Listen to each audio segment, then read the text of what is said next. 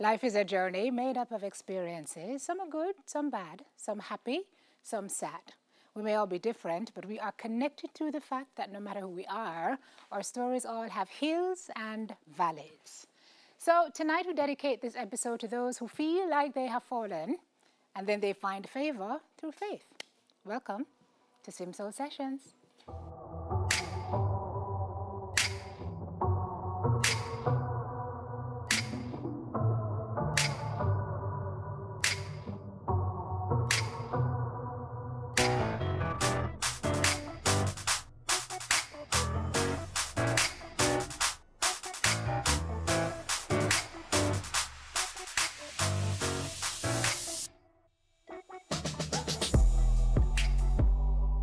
Everybody, and welcome to the show. This week in our safe space, it's one of Jamaica's sweethearts, recording artist, digital rising stars judge, and broadcaster Alaine Laughton, whose last name really we don't need to use because she has single name recognition.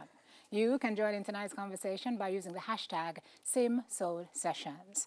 Now, through the highs and lows of her life, the constant companion has been her solid and unwavering faith. And tonight we talk to her about all of that and more. Alaine, welcome to my safe space. Thank you It's for good to have you here. me. You nervous? What? Yeah, don't My need to heart be. beat so bam bam bam bam bam. Well, it must What beat. bam, Let it, bam. let it beat. Good to have you here. Thank um, we're just going to talk some things. You Okay. know how the story goes. Yes. Um, I'm particularly happy to have you here because I follow you in social, as you know. Yes. And I'm always liking your posts, which are so inspirational and so touching. Thank you. And I've just been watching in these last few weeks, and I've just been wondering if you're okay. Just I tell us that you're okay.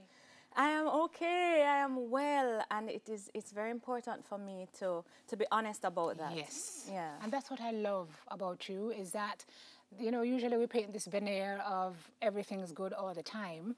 I know God is good all the time, All the but pretty much everything else is not. Um, so let's let's jump into it a little bit. Um, we're going to go back to growing up in the house with the Seventh Day Adventist mom and the Baptist dad. yes. And you around somewhere at 13 deciding that Seventh Day was the road you were going to trod. Yes, yes. Actually, what happened was New Year's Eve. I was, you know, I went to sleep, and before I went to sleep, I said a prayer, and I said, Lord, you know, I really want to be in church. Um, and the way how God does things is He just answers you. It's how He does it. Like, and sometimes it's directly, and sometimes it's indirectly. But I got a call from my friend uh, Camila inviting me to church. And you know, I said, "Oh, mommy, Camila invited me to church." So I said, "So she said, but you don't have nothing to wear." She said, "Because you can't wear pants to my church. You have to wear a skirt." right. Exactly. So then mommy said, "All right, we have to get something for you to wear," and that started, you know, me going to church and joining the choir and all of that. Yeah. So if, if going to church in pants was a big worry, Mm. then certainly the Alaine who was performing, you're going to do you're going to you're going to do what? You're going to sing what kind of music? Yes, Where? yes. How, what kind of journey was that for you? Because that's what you felt like you were called to do. Yeah, absolutely. Um, I've always been a performer. I've always been someone who's creative and wants to make a lot of noise. My parents have always encouraged that. Uh, my, I remember my, my father's mom, mums, uh, whenever I'd get home, I'd be like, Grandma! She said, My God, house was so quiet. and then you came home and then you don't smell this bag of nice. I said, Yes! And, you know, I was always encouraged to be. Uh, me, you know, because that is who I am, effervescent and loud. So, um, you know, I, I, I first, before I decided to become a singer, uh, well, to pursue my singing career, I was in banking um, in New York. After I left UA, I went to banking. Then came home and said, all right, well, while I was doing the banking, as moonlighting, as a songwriter, I wanted to write songs. I wanted to, to be involved in music. I couldn't wait till the end of the day to do music, you know, so I didn't sleep for like four years straight. I'd work from 7 to 3.30 at the bank, and then I'd be in any studio I could get into from like 6 to how much o'clock in the morning, sleep for maybe if I slept it would be like half an hour, and then I was back at the bank.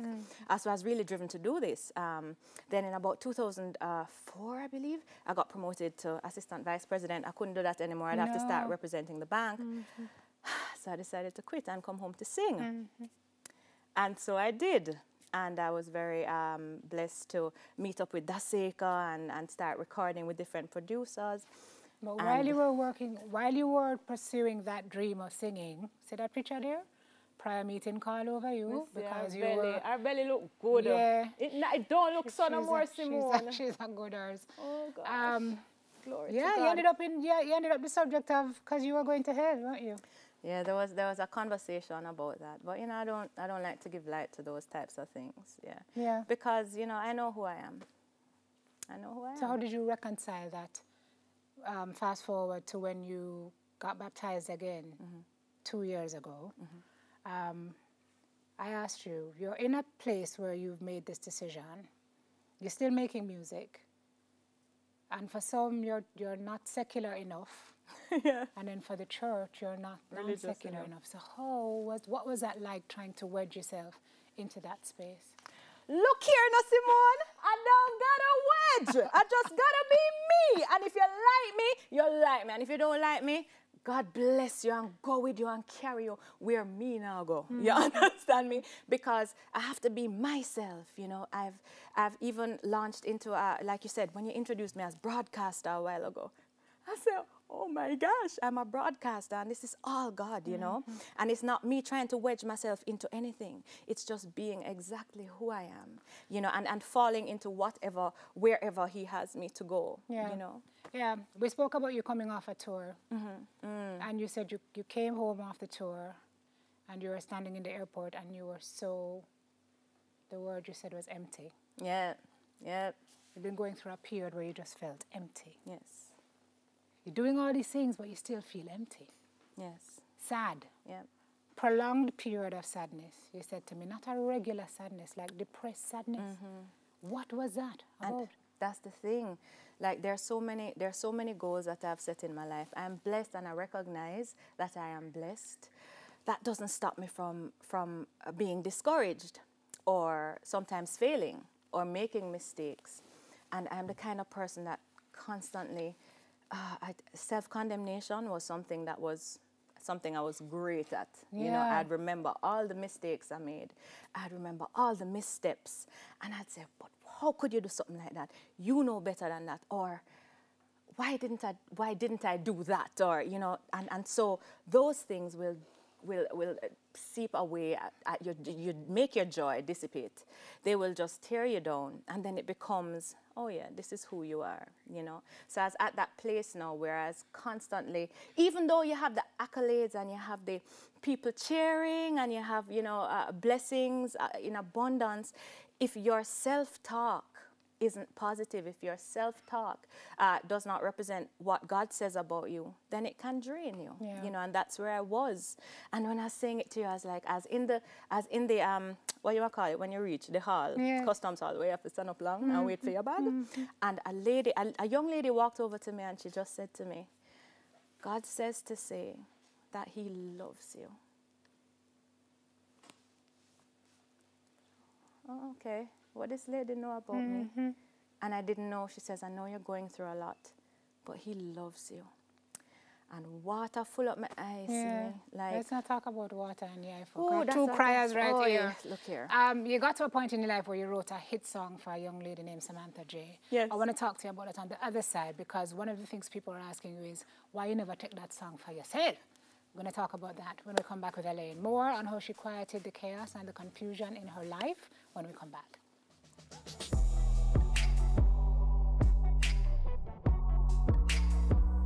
Just catching up with Alaine while we were in break. This is a, let me tell you something. Self-condemnation is not a, it's not an easy thing. Um, when you wrote this song for Samantha J, mm.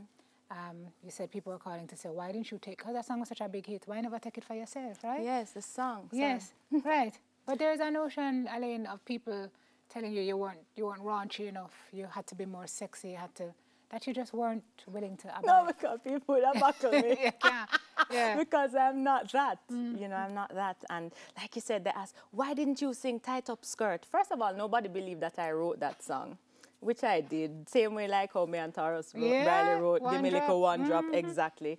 And they said to me, um, why you didn't you sing it? I said, first of all, nobody would believe I was the girl in the tight up skirt. No, and they, they said, no, you're not. You're the girl in the pants. you know what I mean? And seriously, you're the woman in the pants. You know, like what what, what are you Can't saying? trick us. Yeah, you can't trick me. So, but but that doesn't stop me from being creative and being uh, very aware of that's who Samantha was. You know, and so it, it made sense and it worked for her. Yeah. Yeah. So um, when you when you the catalyst I asked you for when you got baptized, you got sick. Yeah. It was just it was a, an ear infection. Yes. But it was a obviously it was a bigger deal because it, it forced you to a place. Yes. absolutely. Talk to me about that time in your life. Yes, so it was eustachian tube dysfunction.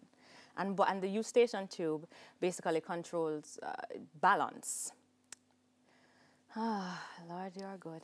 And so it was, it, it was indicative, of course, of a sinus situation where my nose just keep on draining and draining. And after a while, the eustachian tube just couldn't keep up with it.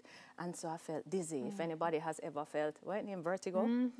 it don't feel good and you're not moving and you feel like you're Dropping moving over. yeah man and the nausea and you know going to the doctor and doing all type of tests and going into into the um the, the thing and them looking at your brain to see if everything all right with your brain. I say, Daddy, Daddy, me don't know what to me. me not, not, him say nothing wrong with your brain. That's what them looking there because my father is serenity Yeah, personified. yeah. You know, and, and he's always been, you know, just such a, a calming spirit and presence in my life. Mm-hmm. Um, God bless him.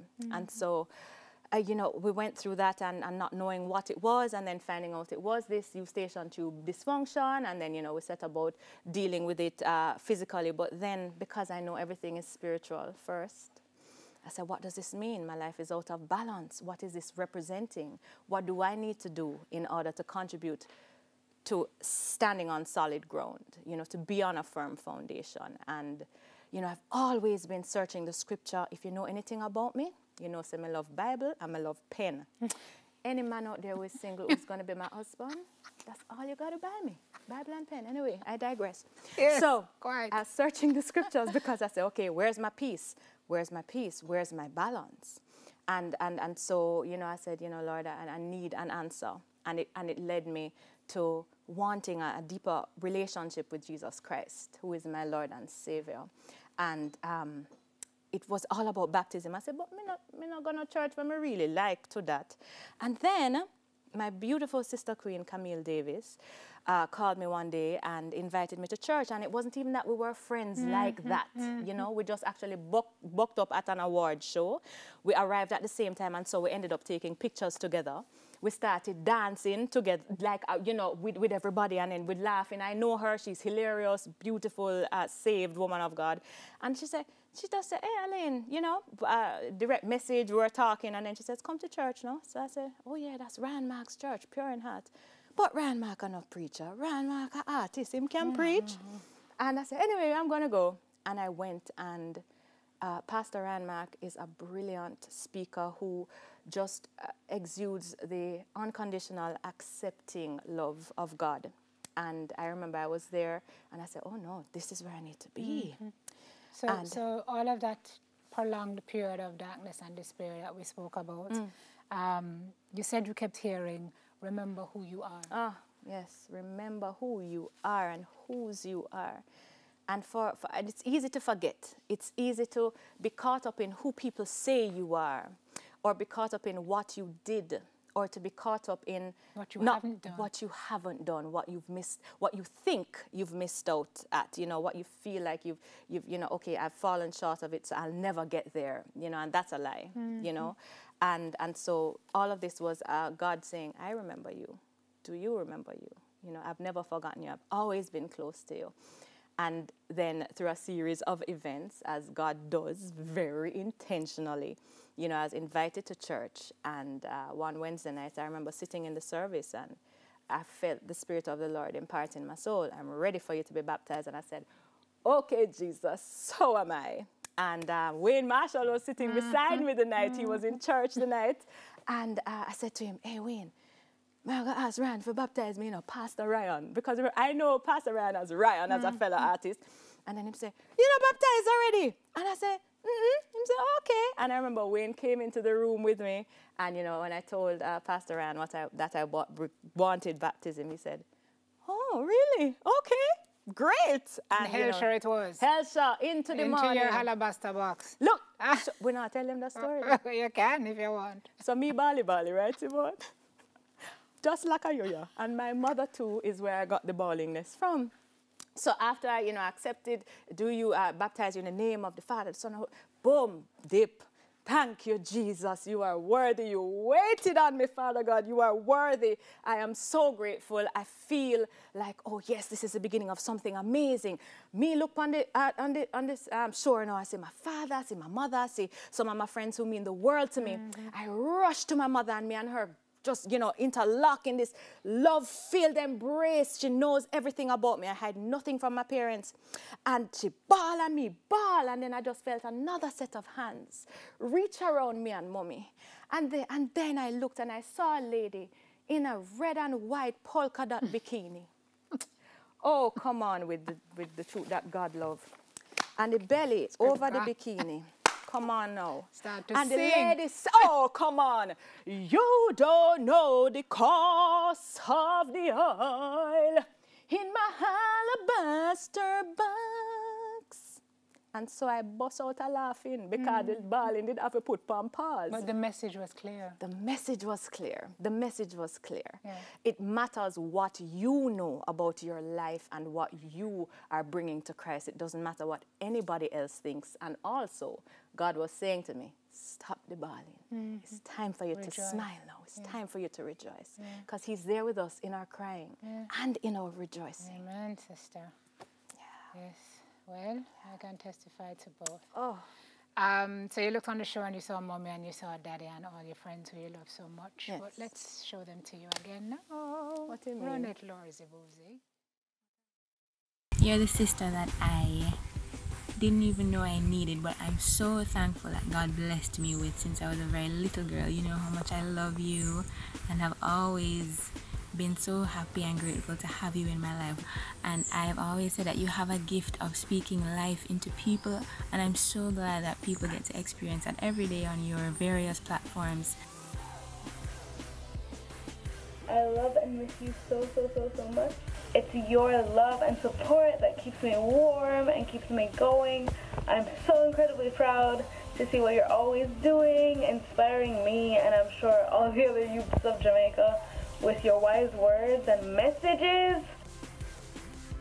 You are kind, you are generous, your heart is one of gold, and I appreciate how much God has been blessing you and he will continue to shine his light through you, my sister. You are one of the most talented people I know. You are a bright light. You, I've been able to bear witness you sharing your God's given gift to millions and have adults drop at your feet and scream and praise you and bawl because you give so effortlessly and you give so much of yourself, not just for your fans through your music, but for your loved ones as well. We're far away I travel from my friend, from we literally giant university singers together. 20, you mm, don't tell the people how long ago. And then you went your separate way and do your thing and became this big deal. But somehow we still manage to remain friends and still keep the link there. She's one of them people where you call and you say, me just give her a quick heal and quick heal turn out hour and 32 minutes. Easy. You cannot be in our presence and you know feel like you have got dead with laugh every day. So make sure so your abs them good because you have got laugh. You know, when I think about you, there is one word that comes to mind, and that is purpose. You have a God given purpose to touch and impact lives in a way that empowers and protects. You have been a loyal and loving sister friend. And you have a gift. And many people would think that I'm talking about your amazing voice. I am actually talking about your heart. I'm so proud of you, so happy for the journey that you have been on. Thank you for being such an inspiration to me over all these years that we have known each other for the sisterhood, the friendship, the love, the music, everything. So Alaine is this enlightened being who was sent down here to us to change our lives. When Alaine walks into a room, energy shifts immediately. And um, when we get together as a family, it is just amazing. It's something that you have to experience. When we get together and she brings this light with her.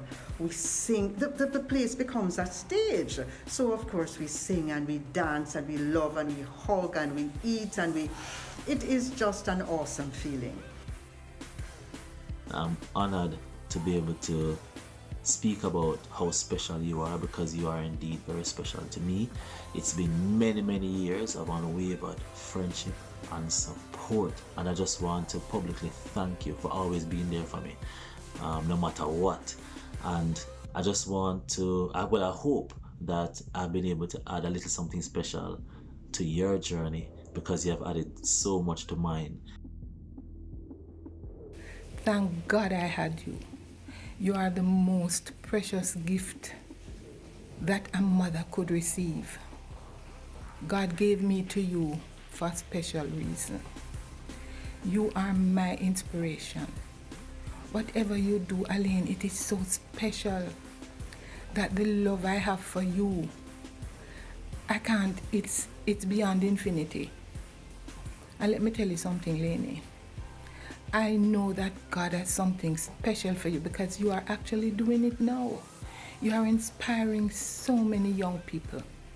And I hope to God that every day, according to your auntie, you will crescendo more than anything else. Love you, girl. Continue to be an inspiration. Bye. I just want to let you know how much I love you, love what you're doing, love who you are and may God bless you and keep you. Mwah. I am so happy that God placed you in my life. Continue being the amazing person that you are. And according to this song, by the way, she said, if you love me like I love you, what a world. Alaine, big up yourself. I love you, darling.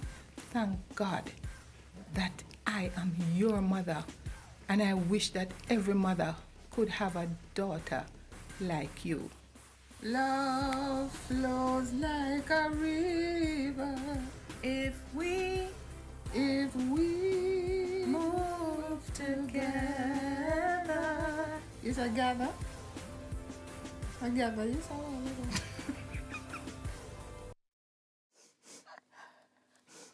What did you? Thank you. Your mother are so adorable. I gotta tell you.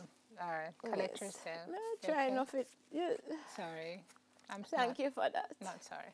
I know, you're so awesome. Thank you. You are welcome. You deserve. We'll be right back, guys. Soon come. Oh.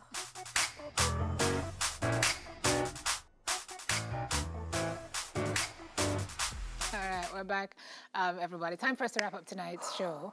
Um, Alaine, I'm giving you the last word. When we spoke, you tended to end your sentences with, it is well. Yes. Um, for many people watching who've been at that place of despair, prolonged despair, can't find the light, and they don't ever feel that it will be. What is there for them to believe that it will be? Oh, that's a big one, Sim. Um, it is well.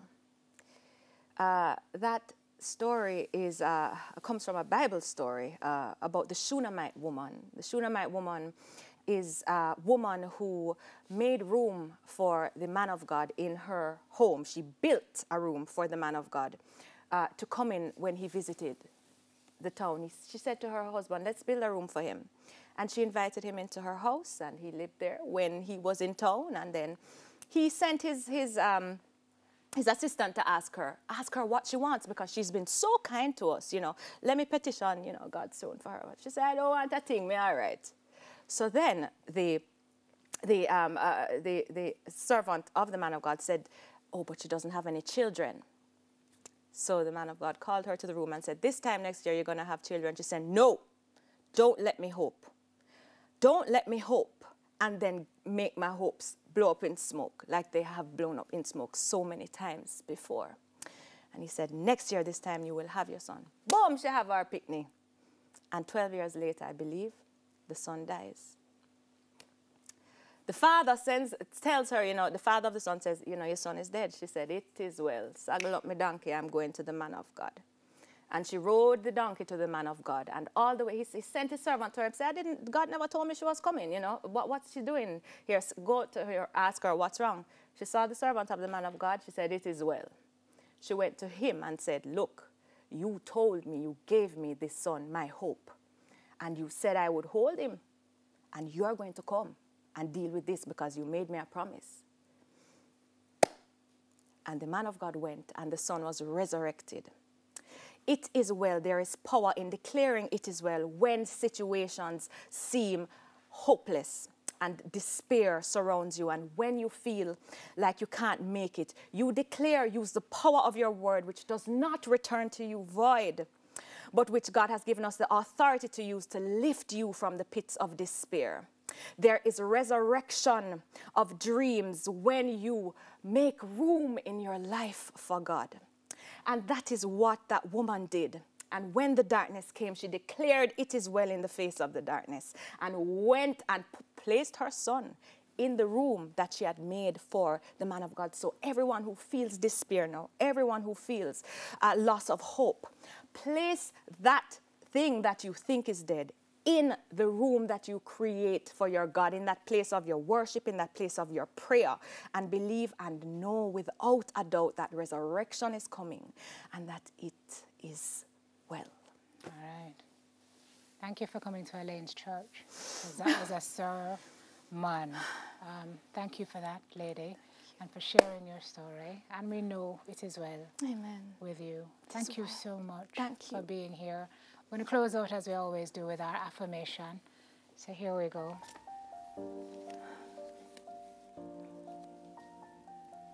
Oh boy, life is so peculiar sometimes, eh? We, we want it all, and when we get it, we realize it's not enough. We build lives filled with lots of things that add up to emptiness. Like, how does that math even work? Well, T.D. Jakes once said that real value isn't in what you own, or where, or drive, or where you live. The greater value, he says, is found in love and life, health and strength, friends and family, and I would add here, in faith. Instant gratification is often coupled with long term unhappiness. And what you think will liberate you is often the most burdensome thing in your life. And to free your mind, you'll have to free yourself from it, from the baggage, the pressure, and yes, the pain. Unplug from what is draining you and plug into your source Hey. of joy, of happiness, of peace. Then you are choosing to access the positive energy to live a more fulfilled and fulfilling life. So tonight we are affirming I trust, I know, and I will live to tell. I know in time it will be well. That is our soul food for tonight. Thank you for watching tonight's show. Please check YouTube at Simone Clarke Cooper to catch up on episodes that you might have missed. And tonight, I'm inviting you guys to check wherever you you get your podcasts for the new Sim Soul Sessions podcast. It is well with that too, and you can access it right now on the platforms that you um, get your podcasts on. Just search for it, talk, and let us know. We will be back next week with another story of the power of the human spirit. Until then, guys, every blessing, and please remember to count your blessings. Alaine has told us it is well. Good night, everybody.